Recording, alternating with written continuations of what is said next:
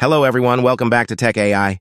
Have you guys imagined how cool it would be to see yourself in some epic movies and that too, playing the main character?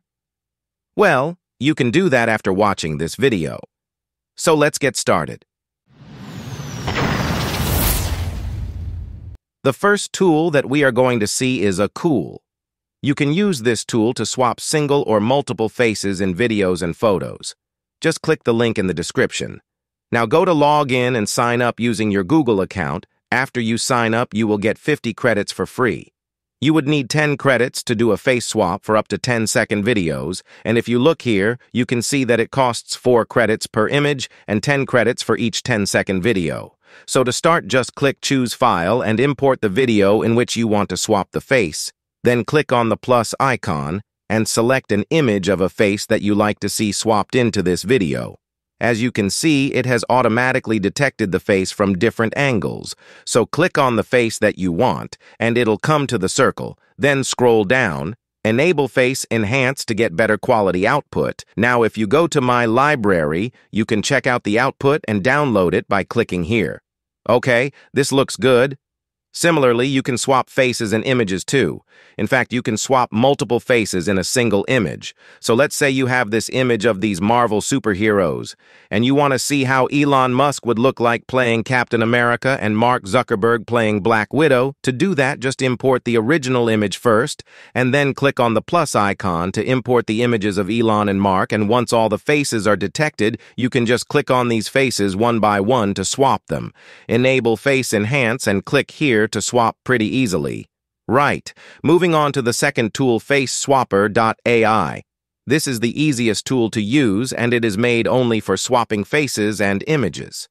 So just click the link in the description. As you can see here, you already have six credits, which means you can swap faces for six images every day without signing up.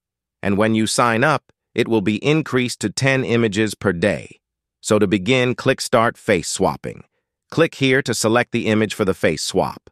Once you're done, click Confirm, then choose the face you want to use for the face swapping, and then click here to start the face swapping process, and there you have it. Looks really funny, right? To download it, just click on the icon, and the image will be downloaded. Now let's see the third tool, which is Remaker. You can use this tool for images with single or multiple faces for free, but for videos, you will have to upgrade to a paid plan. To get started, just click the link in the description and then click here to sign up. This tool gives you 30 credits for free, and it costs just one credit per image for a single face swap and two credits per image for multiple face swaps. So just click here and upload the image, then here upload the image of the face that you want to use, and click swap. As you can see, the faces are swapped perfectly.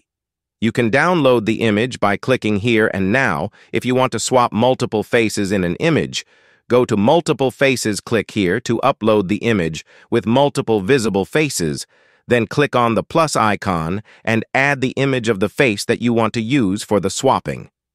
Do this for all the faces you wish to swap, and then just click Swap, and it's done. It looks quite interesting, right? Now let's move on to the fourth tool on our list, which is FaceTool. This one is available as an app that you can download and use on your smartphone.